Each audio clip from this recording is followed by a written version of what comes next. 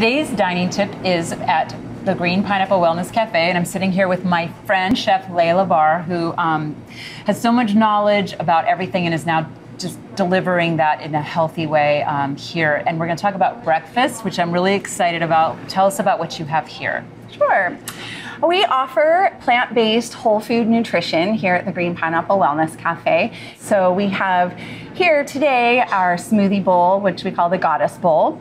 And it's made with organic fruits and organic coconut milk. Um, so it's a nice alternative if you're in the mood for something sweet.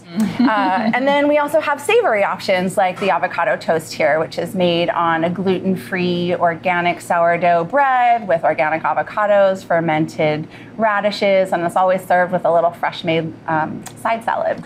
And then we make all of our own uh, fresh pressed juices. And then we also have an alternative to coffee. Uh, we have adaptogenic lattes that um, help your body adapt to stressors, anxiety, fatigue, but without having that caffeine boost.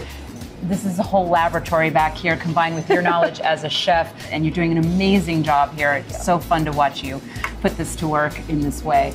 The green pineapple wellness cafe i cannot recommend it enough. Cheers. Cheers. Thank you so much for everything you're doing here. And that's my dining tip for you today. I'll see you soon for more here on Key TV.